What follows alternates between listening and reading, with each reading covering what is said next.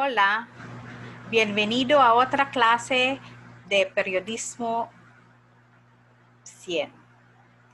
Hoy estudiaremos la época colonial española.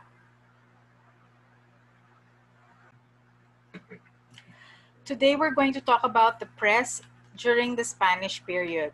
Now this is a bit challenging because um, no one has written a truly accurate account of the Spanish period, especially the early years.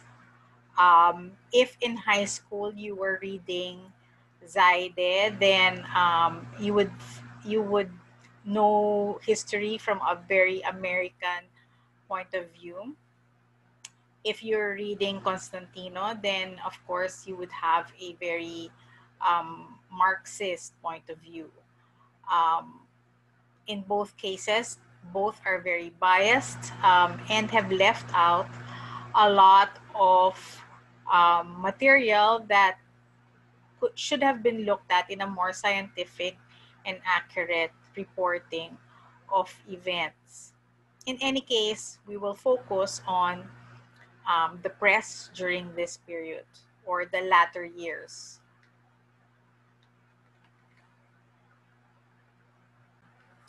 Just as a little background, um, the Spanish occupation began in March 16, 1521, with the landing of Ferdinand Magellan and um, his three uh, Spanish armadas.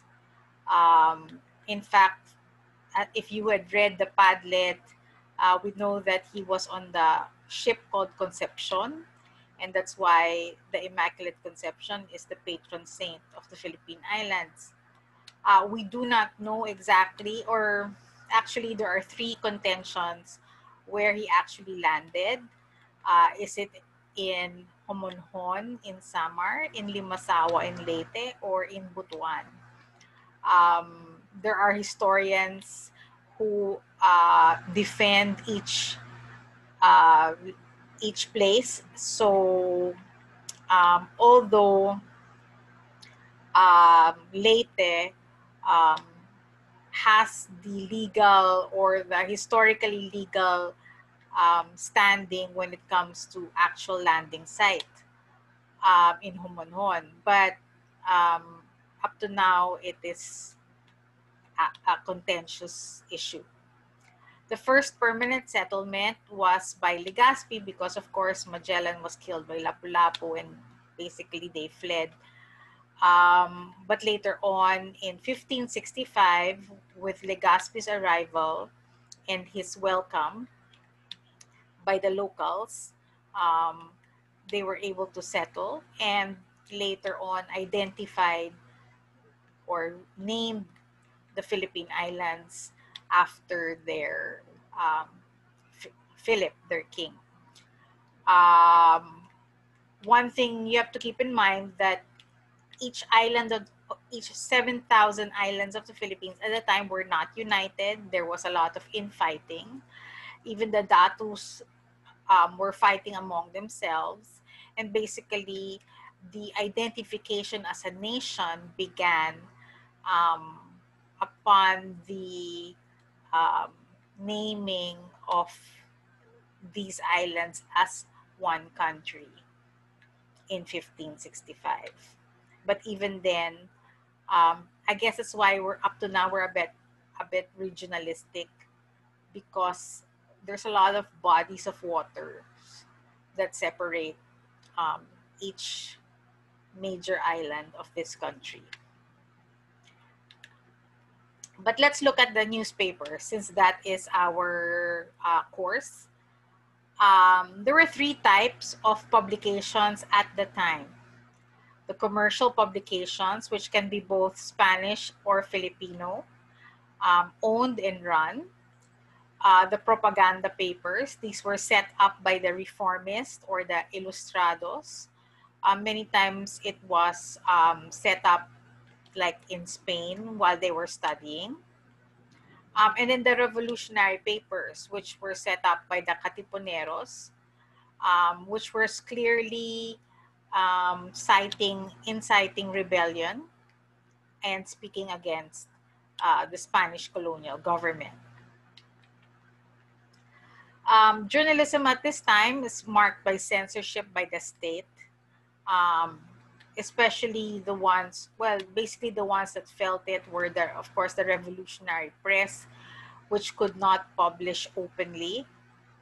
Um, all papers, both the Spanish and Filipino papers, were characterized by financial instability because funding was not continuous um, especially the ones of the reformist and revolutionary press, which was dependent on donations, um, which were not regular in coming. Um, most of the papers were published in Spanish with a limited circulation, um, primarily reaching only the Spanish in the Philippines or the Spanish-speaking Filipino elite. Um, and then, of course, as we as we discussed in the last lecture, um, not the news was not as we know it. Um, it was a lot of opinion and biased um, accounts of the events. Um, there was no attempt to be objective, um, and each paper took on the viewpoint of its publisher the earliest known Filipino media is, of course, by the father of Filipino printing, Tomas Pinpin. Um, it would be good if, you know, after this pandemic period, if you visit the Chinoy Museum in Intramuros and learn more about um, this Filipino Chinese who um, started the printing press in the country and also the first newspaper. So he learned his printing from his professor in UST, Father Francisco Blancas de San Jose. Uh, Father Blancas de San Jose is also well known for his Artes de Reglas de las Lenguas Tagala, um, which Pinpin printed. So basically, he was teaching the Spanish to speak Filipino. And Pinpin, for his part, wrote the uh, reverse book di librong pag-aralan ng mga Tagalog ng wikang Kastila or teaching Filipinos how to speak Spanish. So as we said, the first newspaper that um, we know is Filipino-owned was published by Tomas Pinpin in 1637, which is Sucesos Felices or Fortunate Events. So basically, it was a paper that had a lot of good news. Then you had Hojas Volantes, which is a one-page publication of the Spanish government, um, simply to put out the headlines um, or to report a crime that happened, like in the top part of the page, um, to warn people against um, criminals or um, to report about new government policies, etc. Then you had the Del Superior Gobierno, which first regularly issued newspaper by the Governor General Manuel Fernandez del Folgueras. Um, the thing about this is it did not really contain anything about the Philippines. It was a paper directed to the Spanish who were in the Philippines and reported things that was happening in Spain so that the local Spanish community would be aware of what was going on in their motherland. Also, um, the events that were happening in Mexico since um, before the the the the, boat, the galleon trade um, came from Spain but passed through Mexico before arriving in the Philippines. La Filantropia, which was published in 1821, was a weekly newspaper dealing with current issues from Europe and the arrivals and departures of vessels in Manila. So basically, it was a like a shipping um, magazine um, printed in papel de arroz or rice paper um, and basically informed people of the ships that were ar arriving and the products that it contained. So basically, it was a trade publication. There were other famous publications that like the El Ramilete, which actually had an effort to report things from a more objective point of view. And that's why it's known as a frank newspaper.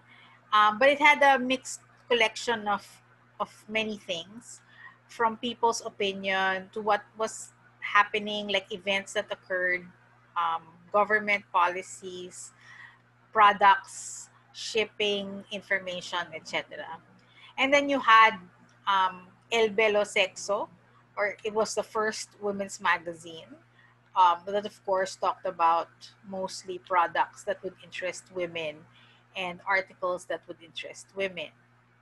El Comercio, um, which lasted from 1869 until well into the American period in 1926, was the newspaper with the biggest circulation. Um, and then La Esperanza uh, in 1848 is the first daily newspaper which started um, two years prior but then had trouble with the censors and they had to stop and go. Um, I mean, it stopped, then continued again. Um, El Pasig in 1862 was the first bilingual fortnightly, both in um, had articles both in Spanish and Tagalog. Um, and so we can say that El Pasig was the advent of the local press because it was it was the first one that carried the native language. Diario de Manila is a special mention because it was, first of all, um, the leading Spanish language Filipino published newspaper. It was well edited. It actually tried to have real journalism in it. Although, of course, it did not have any controversial um, material. Um, it was edited by Felipe Del Pan and published by the Ramirez y Compañía. Um, it was the a daily newspaper and broadsheet. Now, what is important about this? Um, of course, there were revolutionaries who were part of the paper, such as Isabelo de los Reyes, um, who is the founder of the Aglipayan Church, and I think someone will report on him more um, more thoroughly, and Apollon de la Cruz, one of the 13 martyrs of Bagumbayan, and he was the foreman at Diario de Manila, and he hired fellow Katipuneros to work in the printing press. Now, actually, um, why Diario de Manila was special mention because they were Diario de Manila during the day, but at night they would sneak or they would try to print copies of the Kalayaan, which is the subvers- subversive paper by um, by Bonifacio. Um, now, if they could not print, they were printing in the house in in somewhere else, but they were getting the typeset of the Diario de Manila and sneaking it out um, for use in the printing of this revolutionary paper until they were caught. Um, and that's why the Diario de Manila was closed down um, because it was linked to the, Kalay the Kalayaan. Um, in Spain, the propaganda movement started in 1888, led by Jose Rizal, Marcelo H. del Pilar, Mariano Ponce, and Graciano Lotes Jaina. So, um, of course, they this took place before uh, before the revolution. Um, the Ilustrados were fighting for that's why we call them reformists because they were fighting for the rights of the Filipinos, but they were pushing that the Philippines be a province of Spain um, with the rights of the Filipinos the same as the Spanish. So they were not advocating independence. So, but it was the first of a kind to advocate the rights and reforms for the Filipino colony um, and was an inspiration in a way for the armed revolution itself. So um, La Solidaridad was established in December 13, 1888. It was sponsored by a society of the same name. In fact, that came first, the Society of Reformers. Um, and the paper lasted until 1895. Um, so it was it was actually um, the editor in chief, and that's why our college is named after him is Marcelo H. Del Pilar, or who went by the pseudonym Plaridel. Um, the writers included Dr. Jose Rizal, who had two pen names, Laong Laan or Di Masalang. Then you had Graciano Lopez Jaena, whose pseudonym was Diego Laura. Antonio Luna, whose pseudonym was Tagailog. Mariano Ponce, who had three uh, pseudonyms, uh, Jose Maria Panganiban, Dominador Gomez. So um, apart from this, these Filipinos, there were two um, foreigners who were writing for this paper and was part of the Filipino, uh, the, the reform movement. This was Professor Ferdinand Blumentritt, who was an Austrian ethnologist and a professor of Jose Rizal and Dr. Miguel Morayta Sagrario, a Spanish historian and professor and statesman. So what was La Solidaridad fighting for? So as we said, that the Philippines be a province of Spain.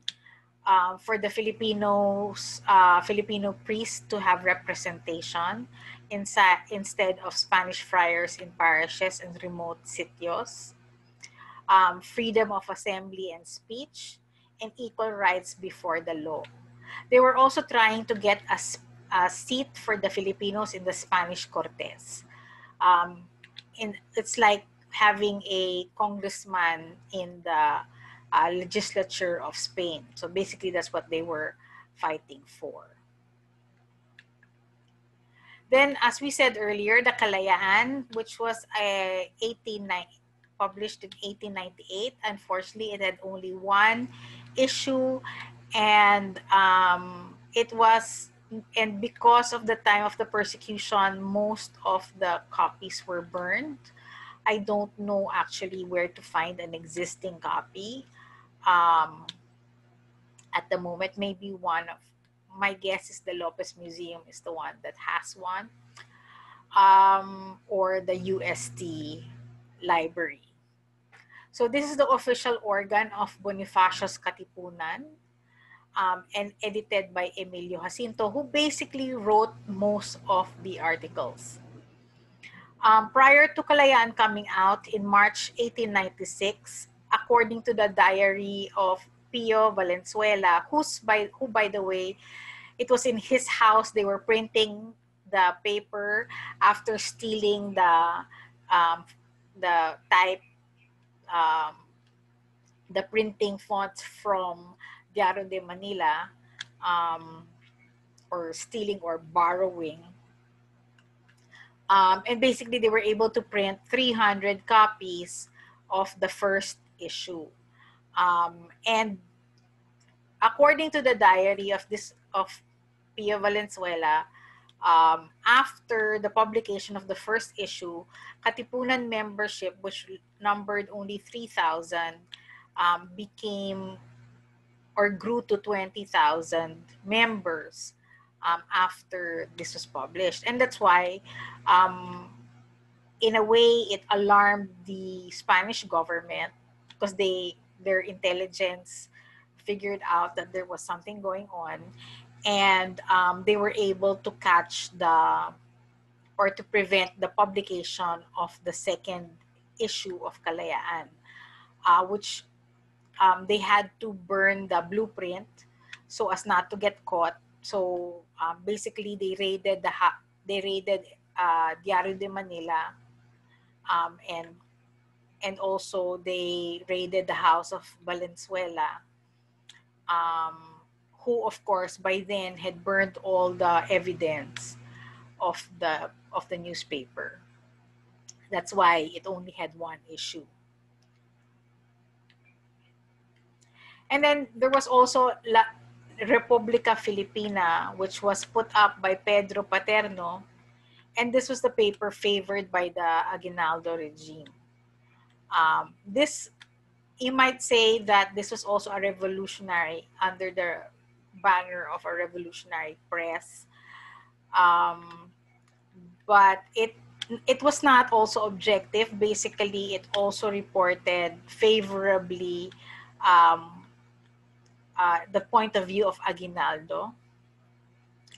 Um, and its publication ran from September 15, 1898 to 1899. So um, it was also very one-sided in its approach to um, news. La Independencia, on the other hand, um, tried to be more objective. This is a paper that lasted from 1898 to 1900. It was also one of the official papers initially of the Philippine revolutionary government and it was established and edited by General Antonio Luna. Um, he, he edited it until the outbreak of the Philippine-American War. Then um, after that, Rafa, um, Rafael Palma took over as editor-in-chief. Um, the idea of Luna is to have a paper that was independent in its viewpoint. So it was not catering, it was not um, echoing the viewpoint of Aguinaldo. In fact, if there was something um, they felt was not running well in the Philippine Republic, which was established on June 12, um, 1898, um, then they would actually write about it. And so Aguinaldo actually wanted to shut down this paper um, because it was not always favorable to him. Um, in any case, um, it was also this paper that first published the Spanish lyrics of the Philippine national anthem entitled Filipinas and written by Jose Palma. So just in case you did not realize, um, the Philip our Bayang Magiliw or Lupang Hinirang, however you want to call our national anthem, was not in Filipino um, in the first several years um, of, or actually it was not, it was in Spanish during the first Philippine Republic and even um, during the during the American period. El Heraldo de la Revolución, or uh, the Filipino Herald, in other words, um, was the first official paper or like government newsletter, you might say, of the Aguinaldo government. Uh, in fact, um, today it still exists as the official gazette. So if you go to the Malacanang website, you will find the official gazette. Basically, all it does is print policies. Um, if there is a presidential decree, you will find it in full in this official gazette. So policies by the executive department. So that's the only thing it really prints up to now. Um, sometimes it, it has it might have news items, but only because these news items are related to a policy proclamation. So the Heraldo de Revolucion, as with that title, ceased publication in 1899. But um, when when the government when the Philippine uh, government resumed after independence, it it uh, revived as the official gazette. La Libertad is another paper um, published by um, the Augustinian, well, was also a paper which was also for independence, published by Clemente Zulueta, who was actually one of the writers or staff writers of La Independencia. Um, and this was printed in a in an abandoned orphan asylum in Malabon, which was previously owned by the Augustinian friars. Um, but then this is also like the La one of the papers that Aguinaldo did not like. And in fact, um, he thought it was too risky to allow the press to publish freely um, anything that criticized the fragile Philippine government. And so um, he required all publications to be authorized by himself. So basically, that's the important papers during the Spanish period. Um, we will learn more about the personalities who were there. Um, so that you know when you pass by the many streets of the of Metro Manila going around well not only Metro Manila but even in the other parts of the country you won't wonder why is this name that way know that the, the name should have more meaning to us know, for example when you pass EDSA do you know who uh, Epifanio de los Santos is why why is a road named after him. Blumentritt, which is a big area in Manila. Why? Who is Blumentritt? So we know that um, he's not he he's not. We might think he's one of the colonizers, but no, he is one of the reformers, and he's Austrian. So I hope that uh, we learn to appreciate that as well.